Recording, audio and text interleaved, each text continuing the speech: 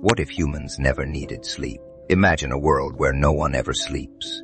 No drug, just endless waking hours. At first, it seemed like a miracle. Productivity soared. People worked around the clock. There were no more nightmares or lazy mornings. Cities 24-7. Relationships deepened with more time together. Life felt limitless. But then things started to unravel. Without sleep, the brain had no time to rest, no space to forget. Every heartbreak, every trauma relived, non-stop. The mind became cluttered. People grew paranoid, unstable. Mental health plummeted. Therapy centers overflowed. Crime rates spiked as tempers shortened. Governments declared a global emergency. Scientists raced to create artificial crest cycles, but it was too late. And here's the twist. We did evolve to never need sleep centuries ago, but our ancestors chose to bring it back because they realized without dreams we lose what makes us human.